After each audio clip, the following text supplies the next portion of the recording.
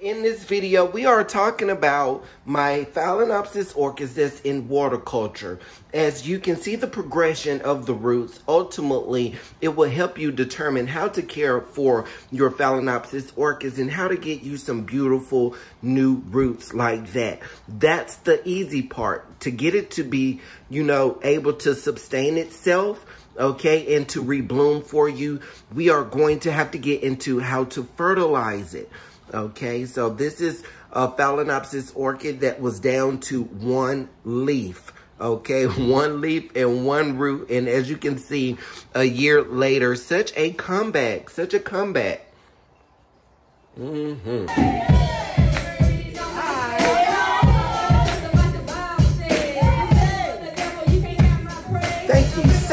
For staying tuned, fam pals. You are so incredible. I just love you so much, and I appreciate all of the encouragement that you leave in my comment boxes. You guys are so wonderful and such a blessing to me. So I just thank you so much for being here at Orchids for Dummies.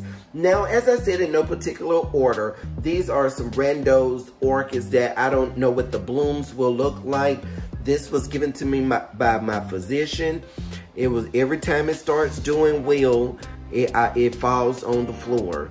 And so I am determined to save it no matter what. We all have one of those orchids where we refuse to let it die because where there is new growth, there is always going to be hope. And so you are here now with me, 2021. One day this orchid will bloom. And once it happens, I'm going to be talking a lot of smack, okay? I'll be talking smack, and I'm found out the king. I'm found out the king, baby. So this is a seedling right here, and I'm gonna just show you the roots, but she's doing just fine. At first, um, I was having a hard time. She was having ooey and gooey. Um, girl, trust me, she's doing just fine, okay? This is the best that she has been doing, honey. And I think I've had her for a year as well everyone I won't be able to give a history on, okay? And welcome back, baby. So this beautiful baby right here Okay, she was another orchid that was given to me by my Orchid Society here in Alabama, and she's doing just fine, okay? She's making a comeback. She's growing slowly but surely. Like I said, once I get the fertilizer together, you know, able to fertilize them more, we're going to have better and better success. This baby right here has a lot of new root production going on. In one of the older videos, you were able to see she had a lot of algae growing on the roots, but she's doing just fine. She does have a keiki right here, as well as right here. This one has not grown. This one, the leaf has grown maybe a half of an inch. That's all. Okay, no new leaves coming out right here. Stay tuned. Welcome on back. This is the rest of the 21 Phalaenopsis orchids that I'm growing by the method of water culture. As I said, as you look at their roots, see how I am keeping them clean, okay? This type of matter right here that you're able to remove, okay? I like to get tweezers, but just removing this, this type of matter will keep down fungus gnats in your home keep down white mold and black mold and will ultimately let your Phalaenopsis orchid be able to be in water for a substantial amount of time. So this baby right here, I'm trying to hold on to her because she has beautiful blooms, but the leaves are just so wrinkled. I have such a hard time keeping her hydrated. Not every Phalaenopsis orchid is going to respond positively um, in the method of water culture. That is one of them. But because I'm unable to pot her up, okay, um, she has to do a die, okay? She has to do a die. So getting some tweezers and removing the matter that easily comes off is what you want to do, okay? This baby right here was wrinkled real bad as well, but I found out that I just did not have the water, you know, up here long enough. It would dry out way too soon because it's in this small glass all of the water would evaporate while the other orchids still have water in it.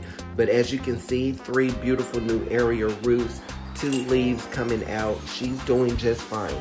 She is also one of those white fragrant Phalaenopsis orchids. I have so many because anytime I find an orchid that I really like, I really care for, I want to get at least two of them in case one dies. Okay, can we be real or can we be fake? What you want, honey? What you want? So this baby right here was given to me by a Fal Pal. I'm doing the best that I can. You know, beautiful aerial roots. Um, she's, I have not had her that long. So we are keeping her in prayer. This is really clean. This is what you want it to look like. Like I said, anything that um, easily comes off like that, you want to do it. The more and longer that you have your Phalaenopsis orchid in water, okay, the better or the easier it will be to keep that um, base of the Phalaenopsis clean. Okay, look at those beautiful aerial roots. Mm-hmm. Now this baby right here, um, I did not want her to um, bloom, okay? So, um, she has a couple of roots coming out, okay? But this, mm, she's not going to make it. She's not going to make it. So once this bloom um, opens up, then I'll probably just throw her in the trash. She's not in the worst of condition. It's just that I have 20 orchids that I need to get rid of um, so my um, watering day will be a lot easier on me, okay? Okay. So I have um, 48 Phalaenopsis orchids in total. And that's not including all of my other orchids. That's just my Phalaenopsis orchids.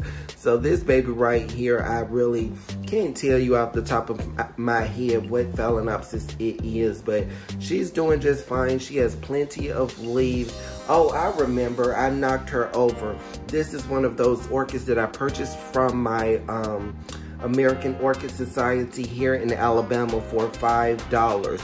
You see this right here, this is fine as long as it doesn't spread.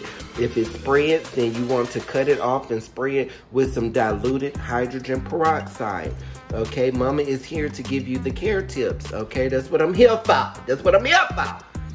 So this baby right here is another one that I don't want to lose because the blooms are so gorgeous. However, honey, when they get down like this, you're probably looking at a year or two before you see any type of rebloom. And that's just such a long time to be caring for something, okay? And I mean, I'm trying to do the best that I can. Lord have mercy, she might have a flower spike trying to come out. I would have to cut it. Remember that that's just a part of the reproductive system is actually trying to, um, you know, save itself, if you will. Um, it's trying to be propagated by, um, you know, nature, if you will, to be able to um, live on, get the message out, you know, so the species does not die. Well, Fal Pals, I hope that you learned okay, how to care for your Phalaenopsis orchid roots in water culture. I hope that you are having great success. Remember, if you got any questions, leave them in the comment box below, honey. That is what I'm here for. Each one, teach one.